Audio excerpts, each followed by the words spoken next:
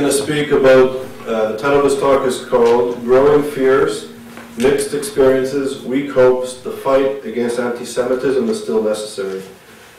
Professor Weisskirchen is the personal representative uh, of the chair in office of the OSCE in combating anti-Semitism, and he's the spokesperson on foreign affairs for the SPD group within the OSCE.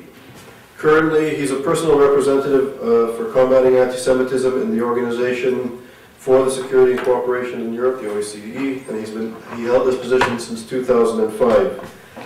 He's a member of the German Federal Parliament, the Bundestag, and he has been so since 1976. He's currently the spokesperson for the SPD parliamentary group um, with the Bundestag Committee on Culture and Media Affairs, and he's held this position since 1999. And he's the chairman of the German-Russian parliamentarian group in the Bundestag. Um, since 1992, he's been a member of the Helsinki Citizen Assembly, a controlling body of peace and civil rights movements uh, based in, uh, in, in, sort of movement that came from Havel. In 1992, he became a member of the acting federal administration of the German Czech and the German Slovak Society. And since 1976, he's been a member of the German Bundestag Committee on Foreign Affairs. I first met Professor Weisskirchen at the um, Herzliya conference, and I met him actually in this very special meeting. Um, it was a best practices meeting that was held in the Bundestag for the OSCE on combating anti-Semitism. Um, he also has co-edited books. Uh, the most recent is a special meeting on anti-Semitism in conjunction with the OSCE Parliamentary Assembly meeting. Um, so he is a scholar, uh, I think an active politician, especially on issues of human rights, and somebody who's been uh, very active in leading on issues of anti-Semitism uh, in the current context. So it's really, it's an honor that you're here, and I welcome you.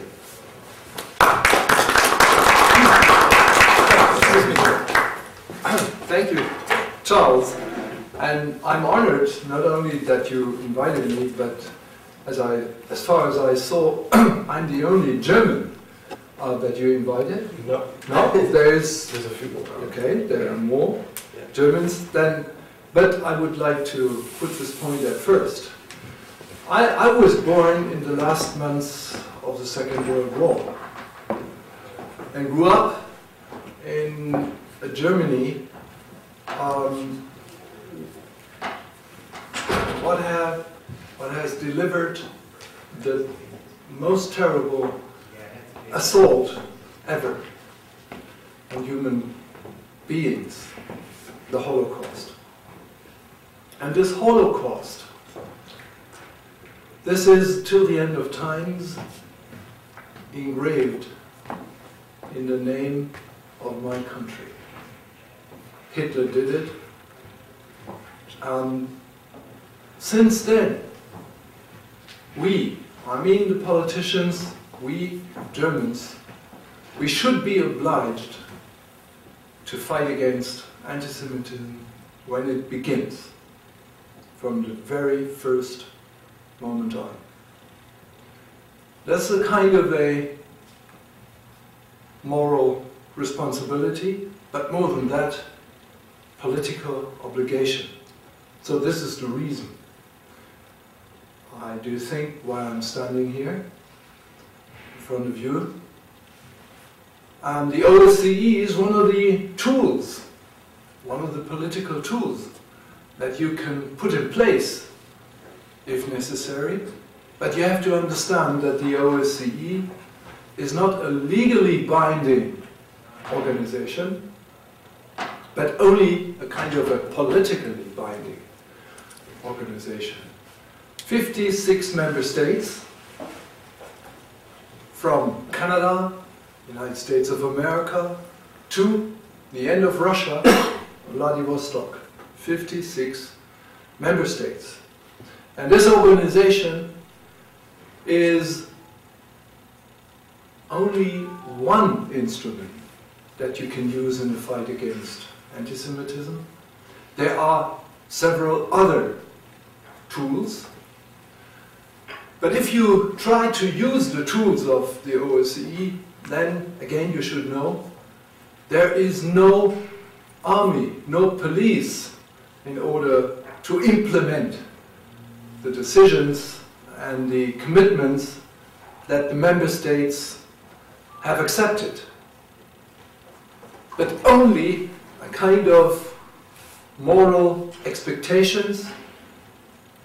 And this is then my work to try to look into the different member states, what are they doing in order to implement these commitments that they have accepted. And in the fight against anti-Semitism, roughly 50 commitments are where and have been accepted by the member states. And if you look into the segments of these commitments, ranging from, for instance, Holocaust education, Holocaust Remembrance Day, to legislation. What kind of understanding do we have in the whole OSCE region what is really anti-Semitism? We have worked out a working definition to understand what anti-Semitism really is. So these different commitments are on the table and my work is then to try to find out in what way are the different 56 member states implementing these commitments into their own national culture and political processes. And you should know then, because of the fact that we, as OSCE, cannot press these states that although they have admitted these commitments, that they are in the process of implementation clear cut. I only can name them. What are they doing? In what way are they fulfilling? Or in what way they are failing in order to implement these commitments. And uh, for instance, the working definition on anti-Semitism is only put in place by a minority of these 56 member states. Some member states are ready to accept these principles, others are rejecting these principles, and others are reluctant to put them in place. Take the case of Holocaust education.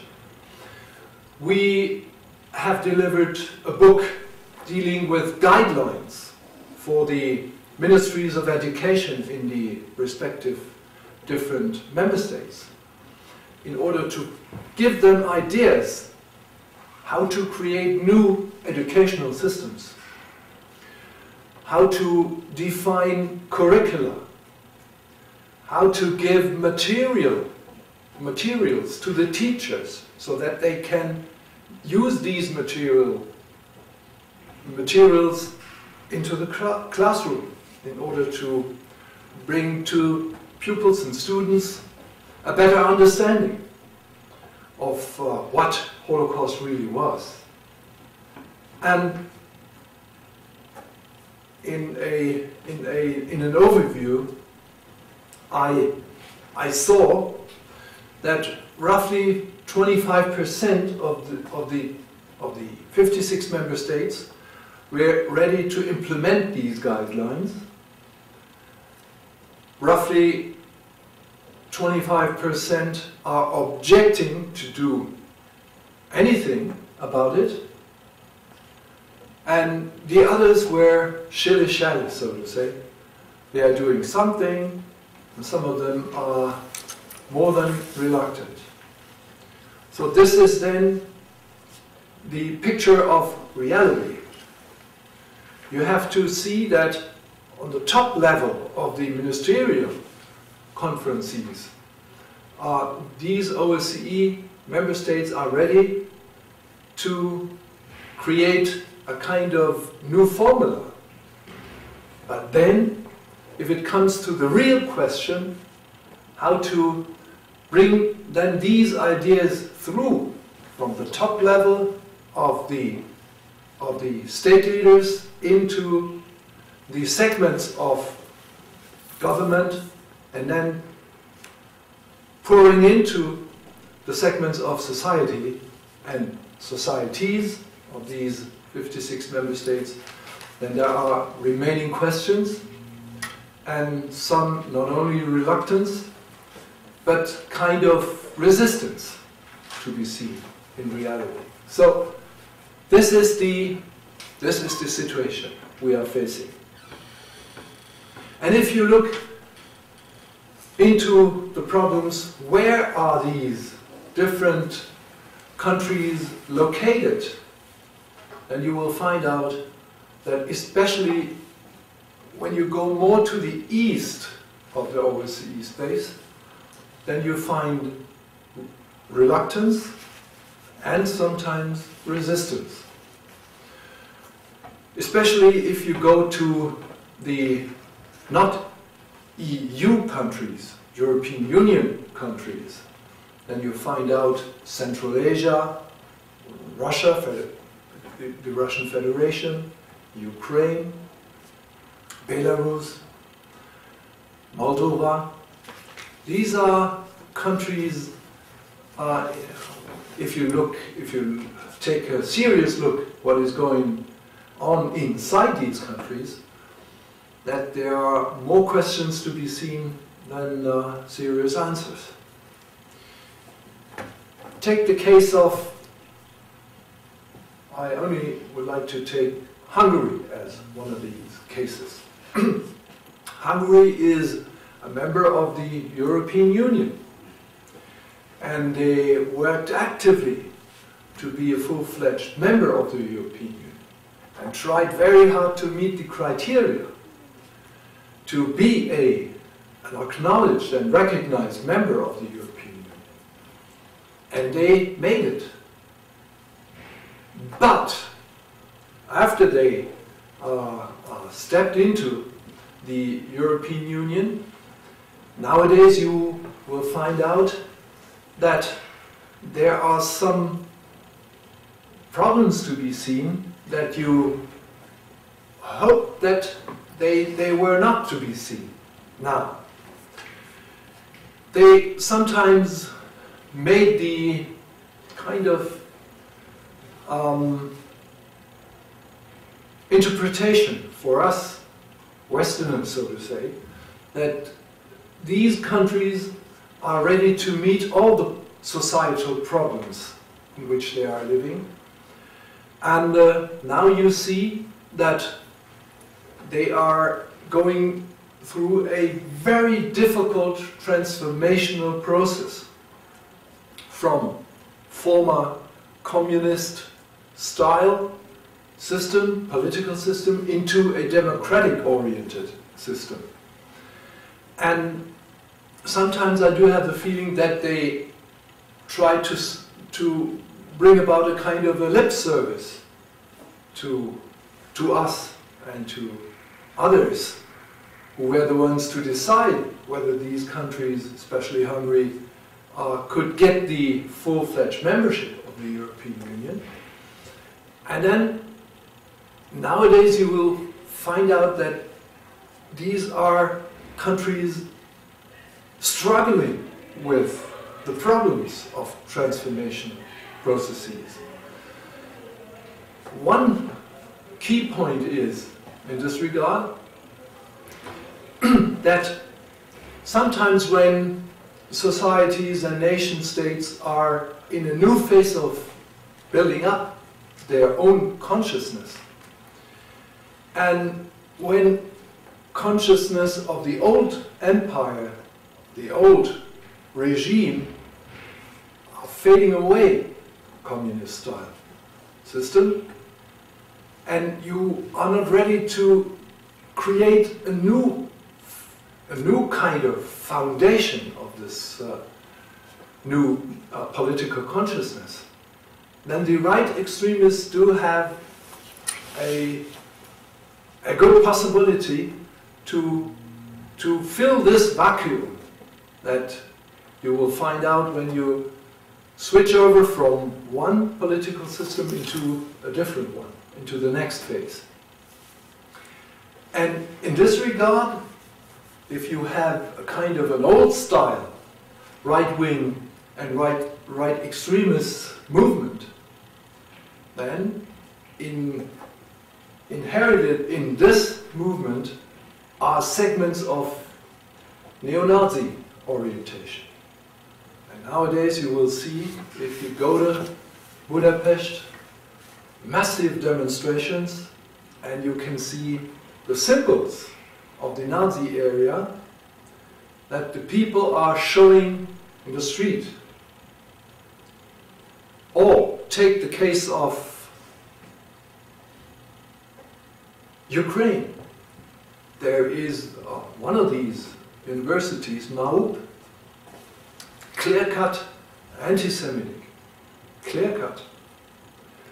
And uh, I talked to uh, President Yushchenko on this point, and there is no doubt that the political leadership in these countries, Hungary and Ukraine, are against that kind of right extremist orientation, against a renew build or character of neo-Nazism, uh, new uh, recreated uh, political class, but they are really strongly against this development. But there is this but. It's not only the, the, a good point and a good um, starting point in, in, in this development that the leadership is clear cut. The real point is what about the society? What about the, the inner conflicts in these societies? How are they met? And what kind of political instruments is the political class then using in order to convince the, the people and the population that democracy is at stake when right extremists are on the rise. And in the back of this, uh, behind them, of these right extremist groups are, is anti-Semitism on the rise too. This, these are the challenges of the transformational uh, situations in which these countries are living. Or take the case of Poland. There are, I don't know how many, but several hundreds or something Jews living in Poland. But there is a tremendous uh, anti-Semitism to be seen. Symbols you can figure out if you go into a normal hotel in uh, in Warsaw. That you there you can find symbols of anti-Semitism. You can buy there. There is a kind of uh, a symbolized Jew to be seen. You can buy this symbol, this uh, in this size, and you can find out that he's looking like the Jud Süß in the in the German uh, films of the 30s, with the same face. And uh, these are problems to be seen all over, all over the Eastern European countries. So in this regard, there are growing fears to be seen. And what I have seen, as you've pointed out, as a personal representative of the chairman in office of the OSCE, that my experiences tell me that I do have mixed experiences. One is that the leadership of these countries are clear cut against anti Semitism, but on the other, there are growing problems to be seen. And how to meet these problems? I only would like to point out one example. Um, talking about a different country, not Eastern European country, but Great Britain. In Great Britain, um, there has been established a, a 15 members group of the Westminster, of the, of the lower house, of the parliament, and made, a, in, made an inquiry and delivered a report on how to fight against anti-Semitism in Great Britain. And they delivered 35 very concrete recommendations in a uh, lasting 11 months um, work. And in the end of these uh, recommendations, now the, uh, the government of the United Kingdom does now have a lot of more possibilities to act against anti-Semitism. So this is one of the one of the best examples that I've seen. And these good examples I would like to universalize in the whole sphere, in, in the whole space of the OSCE. Because I do, I'm, I'm convinced, and I do hope, that if you catch parliamentarians, members of, of the different um, nation, national parliaments, in order to confront these problems, then there is a good possibility to build a bridge between the conviction of the state leaders and then to kind of bringing about this, this new attitude towards all the different segments of societies which are up to now reluctant in fighting uh, against anti-Semitism. So in Great Britain, that was a wonderful experience.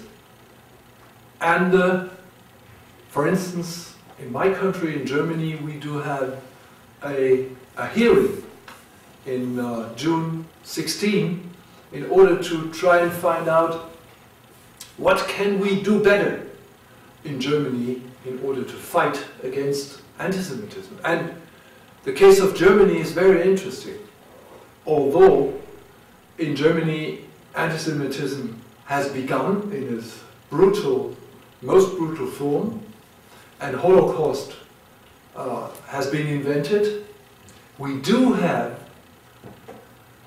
and the different surveys uh, you can compare, roughly and at least 10% of the whole population in Germany who are anti-Semitic in its attitudes.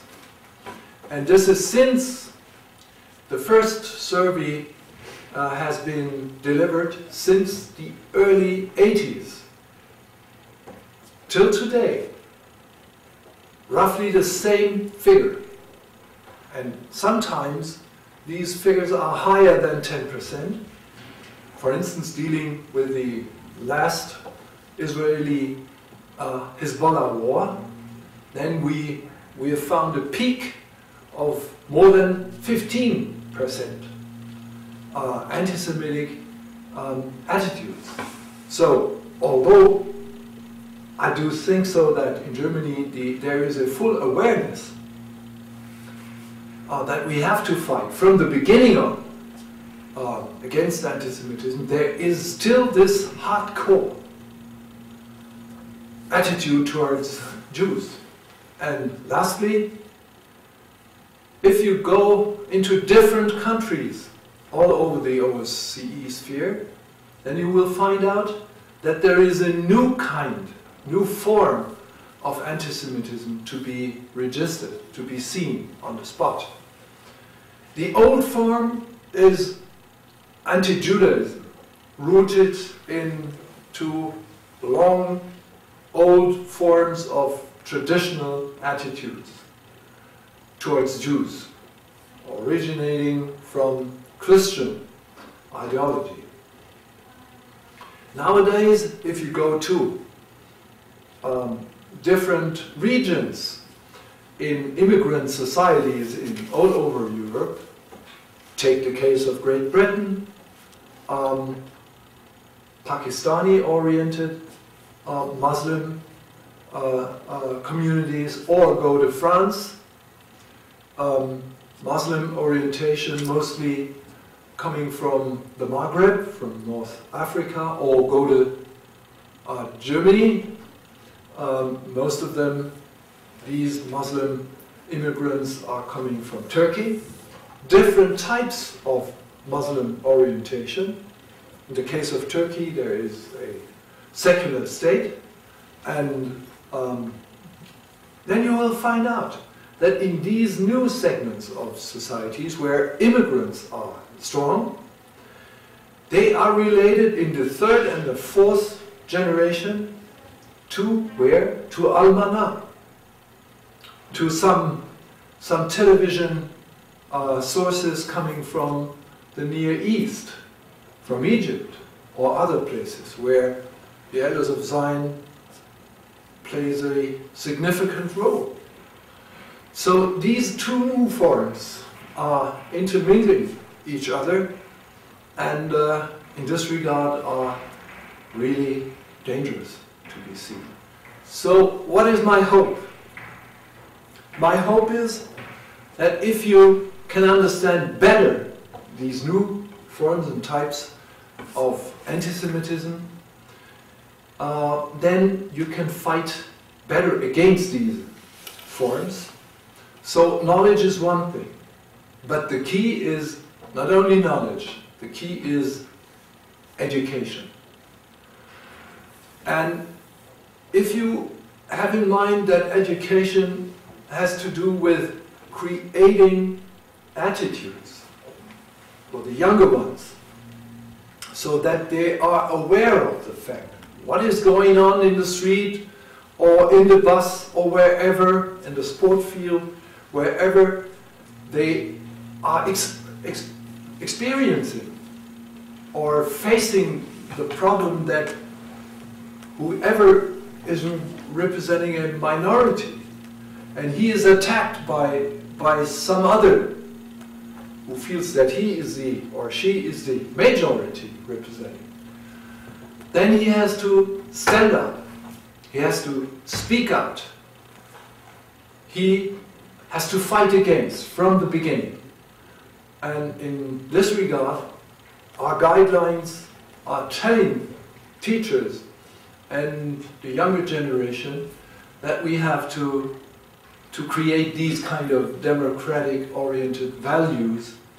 And in this regard, I do hope, I do really hope, that um, there is not only uh, there are not only mixed experiences, there are not only growing fears, which I felt after these years, but there are possibilities to act against, and these are hopes to be seen. And in the OSCE world, we are trying to do our best, although, as you have heard, the tools are weak. But the consciousness of the people I've seen are more lively than I thought of in the beginning. And in this regard, I do think that hope in the end will be stronger than the problems we are facing. Thank you. So thank you very much. So we have a few questions now. Anybody like to start off? Yeah.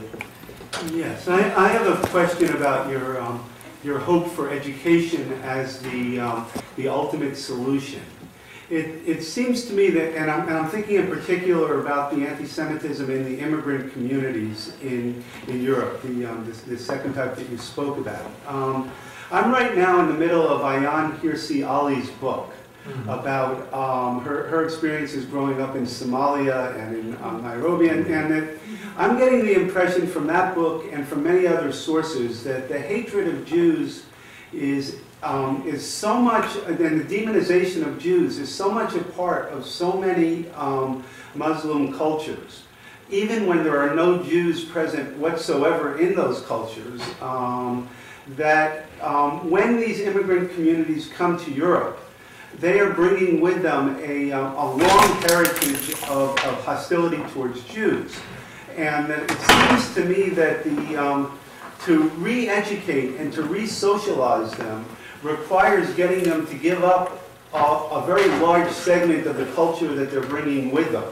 That it's not simply a matter of exposing them to a Holocaust education program in, in a European school system. It's not simply a matter of exposing them to, um, to somebody talking about how bigotry is bad or presenting them with data about Jews, but rather getting them to part with something which is very much part of their essence, which is their, um, the culture they're bringing with them. Um, that would require a major effort of re-socialization, a major effort of almost reprogramming. And I'm wondering, given the weak tools that you have, um, what hope is there for, for doing that? Well, my hope is that uh, these, these people can get the message. And uh, that means that they can understand what is really going on. We have, our, our work is at least twofold. First is to improve the process of integration for these alienated people. Because if they do still have the, the experience that in the reality they do not have equal rights, and this is the case in Europe, then they do seek a kind of, of excuse and trying to find out a scapegoat. And you know, historically, who was the scapegoat. And this is one thing, to improve the societal processes of integration. And judging this problem, you will find out that most of the Western European countries are now being aware of the fact that they have to do more than they did in the past in order to create these uh, integrational processes. That's one thing. And the other, interlinked with this process, we have to convince the younger generations of Muslims that if they would like to live in our countries, they have to, I, I would put it not only re socialized, but to civilize themselves in a way that they are ready to, to share with us the common view that has been emerging since the end of Second World War, that we need each other irrespectively where we are coming from. If you are a Jew or not, a Christian or I don't know what, we have to live together and we have to share our common values. And this is what you're talking about, kind of, uh, uh, yes, re-education, but it's even more than that. It's to, to understand that we only can live in common when we share our values here in, in our space. So these two processes we have to link to each other, and this is a tremendous task that we are facing. Wonder what you thought of Sarkozy's original plan for Holocaust education to match each French child with a Jewish child who perished in the Holocaust. I, I do think that this is a wonderful idea. The only question is remaining, at what age can you do this? There is a debate in France uh, when you can start this. But the, this is a wonderful idea. And you should know that in France, earlier, and in Germany, for instance, we, I mean the states, we are financing, having meetings with, uh, with Jewish um, uh, uh, students. Not only in Germany or in France, but for instance in Auschwitz.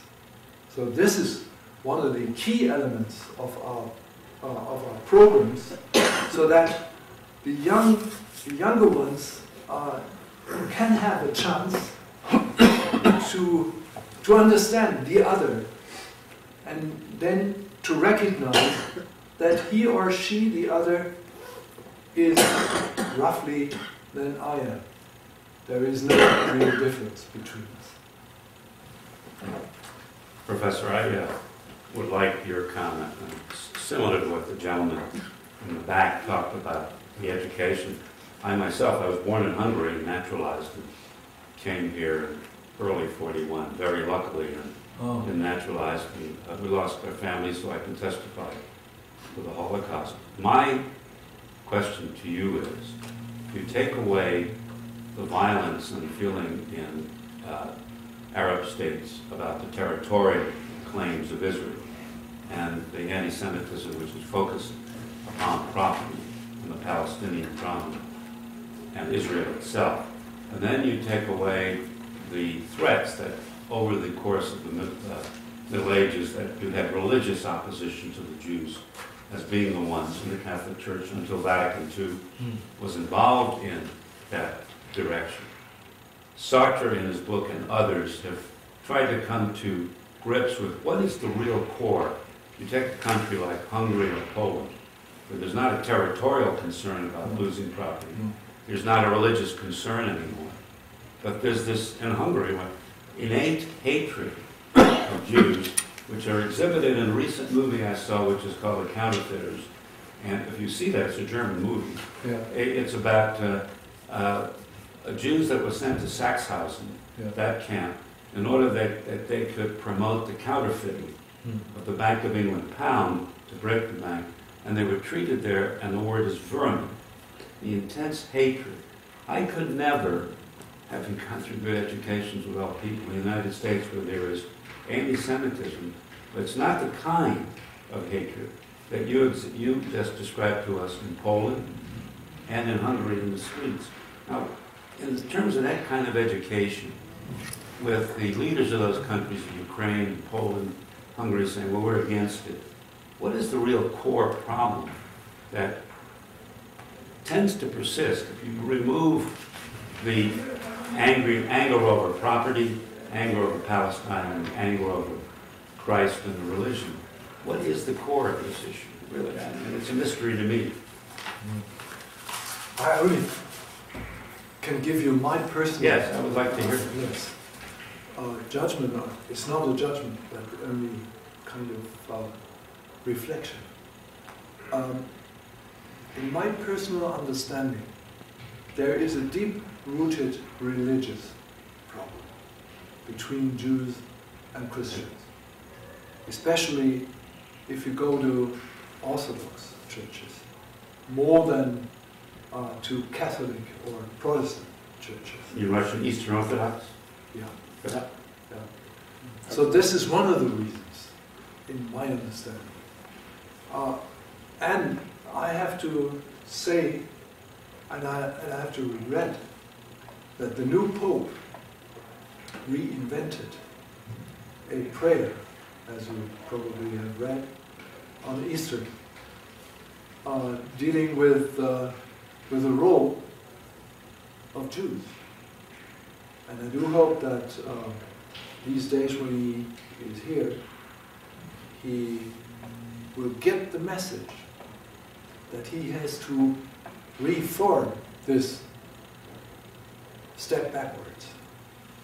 Uh, the Vatican, uh, uh, uh, in, in, the in the 70s, the, um, the uh, conciliarity process uh, had decided to, to leave this behind. Yes.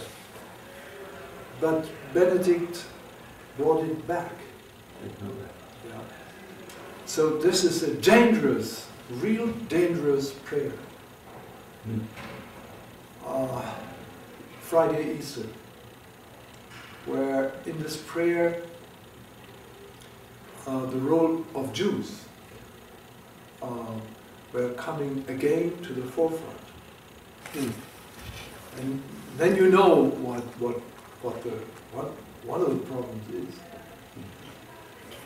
And in this regard, I do hope that Pope Benedict is coming back to the Polish Pope. He was, in this regard, a real friend of Jews because he grew up, as you know, nearby Auschwitz. And he personally witnessed what has happened in this death camp. And he was, although he was a traditionalist in some regard, he was clear cut towards Jews. And Benedict, and I must say, although he is a German, he should know what he's doing in this regard. And he should immediately uh, come back to the prayer that has been inaugurated in the 70s. Do you think, Professor, in countries like Hungary and Poland, Ukraine, which uh, had the anti-Semitism after Pope John the 23rd and Vatican II rolled back that mention of the Jews, that that hatred is religious based? Is that And that's what I'm talking about. thank you. Uh, I just want to point out uh, something and then I would have a question about it. Uh, the uh, new anti-Semitism that we are, that is mentioned uh, occasionally is relatively a, pro- a, new, a new product, but essentially it is the old Christian anti-Semitism which was picked up by the Arabs Yeah. by the, especially by the Islamic leadership of the Arab world, already at the beginning of the 20s, Yeah. the- of the previous century. Egypt. It's, it's, it's important to note that the forefront, the leadership for the anti-Jewish, anti-Zionist, came not from political circles, No. it came from the religious. Yes. I mean, the whole objection to the Jews establishing themselves as independent people came from the religious point of view.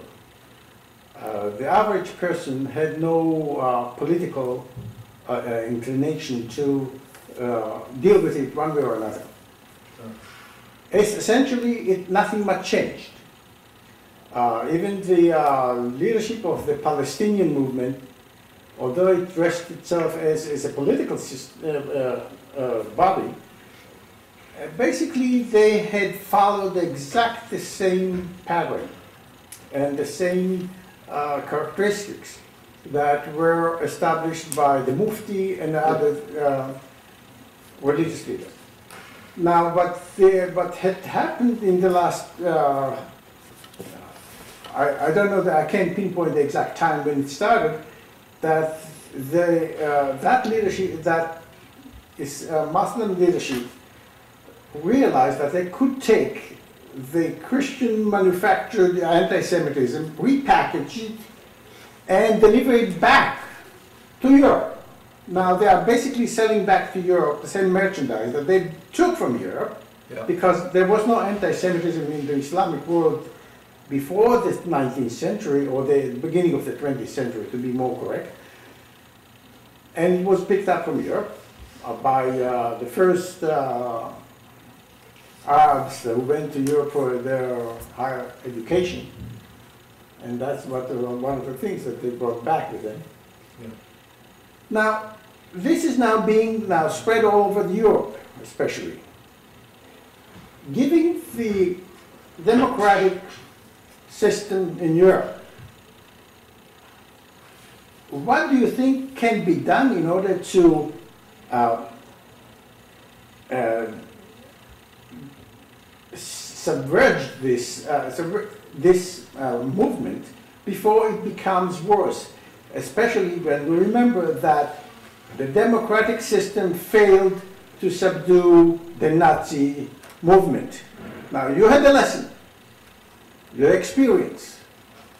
Uh, it's nice to be democratic, it's nice to, to, to maintain free speech, but it's, it's stupid to commit suicide.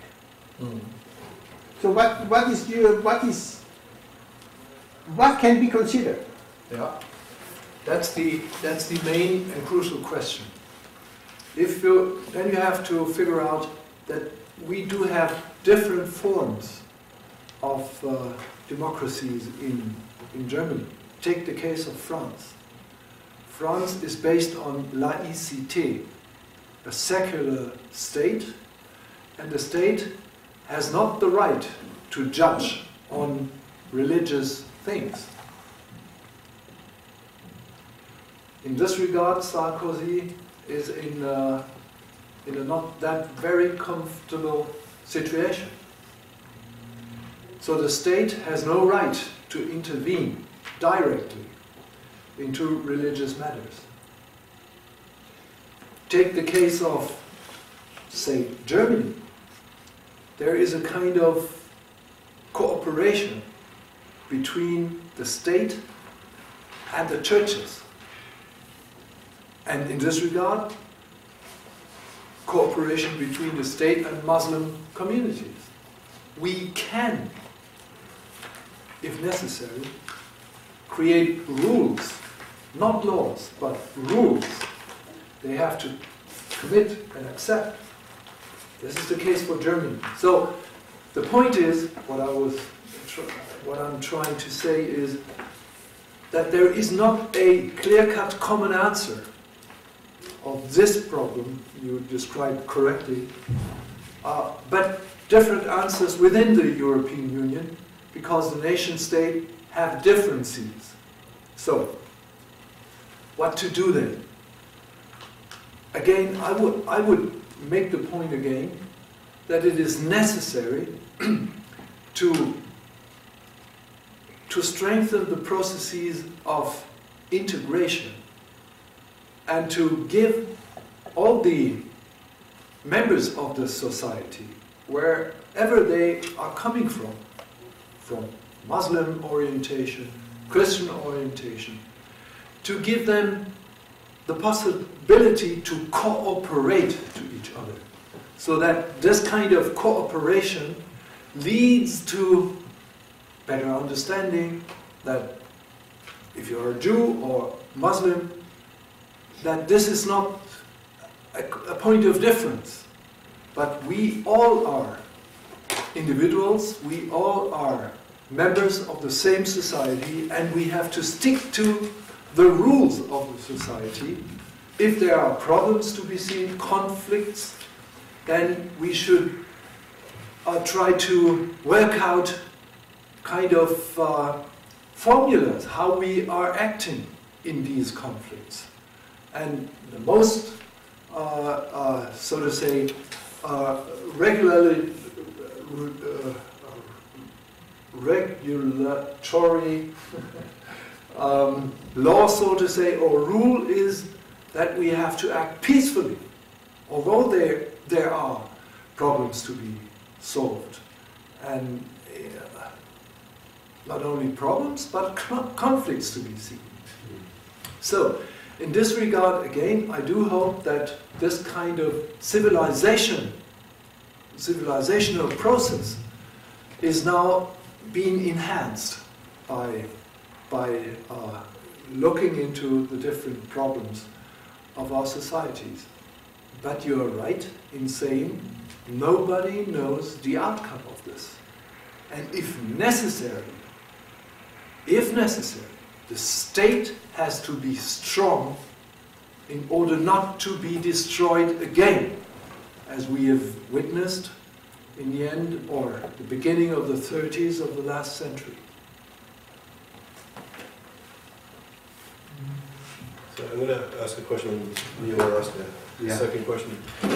So you, you in a sense focused on the internal societal issues of anti-Semitism uh, within the OSCE or within the European Union. So I want to challenge you to look to external and foreign affairs, uh, which you're an expert of. In Article 3 of the Convention, um, for the Convention for the Prevention and Punishment of Genocide, Article 3 stipulates very clearly and simply that incitement to genocide is against the convention. Yeah. Ahmadinejad, I think anybody who looks at what he's been saying over the last several years consistently and clearly is inciting to genocide based on what the convention's definition is. What is the OSCE, so OSCE's responsibility internationally to this phenomenon? One. And two, given uh, the European Union in general and Germany specifically, given the threat of another Holocaust, and I'm choosing my words very del- deliberately and carefully, what should be the reaction, what can be the reaction of Europe, of Germany, to stop this disaster in the making?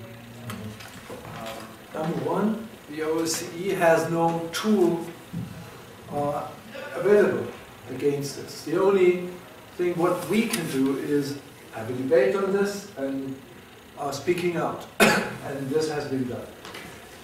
Um, secondly, what can the European Union do? As you know, we are in a process of uh, negotiating, and the United States of America uh, plus Russia, plus China, plus then the EU3, that's France, that's Great Britain and Germany, we are in the same boat, so to say, uh, acting against uh, Iran. And you know that uh, the Security Council delivered uh, several uh, measures in order to strengthen the process of uh, boycott. but uh, if this is not enough, then uh, Sarkozy made the proposal to enhance this process of boycotting. Uh, and if uh, Ahmadinejad is not ready to, uh, to meet the challenges and the, the, the questions that, that we have put to him, then we should use uh, different new um, measures and the European Union would be ready to deliver. This is uh, in the process now of debating in the different member states, and uh, uh, I don't know when the time will come, but we are in a, in a heat debate on this. Uh, uh, there are different member states who are not opposing to this, but reluctant to new boycotts um, because they argue uh, the United States of America uh, has been uh, putting in place boycotts and what was the outcome? So this is the question that, that they are now uh, uh, bringing forward. Uh, but again, we are debating this and if necessary, we are ready to uh, to, to make it much more precise and painful, especially for, uh, for, for the political elite of this uh, uh country in Iran. Um, and if necessary, if, uh, for instance, Israel um, uh, comes to the conclusion that that kind of measures are not helpful, then Israel is free to act. And if necessary, then uh, the, uh, especially Germany, we have been debating on this since several uh, months, then we are uh, someone to support if necessary. So just to follow up quickly, do you think the European Union or members of the European Union would engage in something more substantial than sanctions? Would they, would they engage in military action if it became apparent that there was an existential, real danger to the future of Israel? Uh, if, nece- if Israel is the one to decide on this, and uh, that's, uh, that's an autonomous uh, government, then uh, I, I don't see any, any objection uh, if this uh, is needed. Neil, Still absorbing your answer to that. that You, you don't, I mean, I, I, I hear you saying that you don't have an objection, but I'm wondering if you, that my observation of Europe's behavior with regard to Israel is that it's been a very mixed level of, of, of support, even when Israel behaves very cautiously. And I'm just wondering if, um, if, if Israel were going to act, you know, how confident are you that if Israel were going to act under circumstances like that, that the support would really be there? Well, You know, not your opinion now, but your prediction of how Europe would, would deal with it. Yeah, uh, as always, when, when Israel is acting, there is then debate in uh, several countries. Um, but take the case of the Lebanon war. Uh, there was no real critique uh, against Israel to be seen. Some journalists uh, wrote some critical articles, yes. But uh, in, for instance, in the Bundestag, the German government were supporting, and uh, we we gave uh, Israel what is Israel wanted to have. Uh, not only submarines, we are the ones to deliver submarines, but uh, the German Bundeswehr, the German army, is uh, is in place there to strengthen uh, UNIFIL two uh, the, the second uh, uh, new mandate. Uh, so uh, only take this point if necessary, and if Israel comes to the conclusion they have to act, then it's Israel to uh, to do that, and there will be, in my personal opinion, yes, there will be debates then, but no objection to this, uh, if necessary, military option. Anybody else? Okay, so that's it. So on behalf of YIISA, I really, I'm grateful for you to come all the way here to, to join us, and it was really an honor to have. Thank you, and all. Thank you very much. Thank you.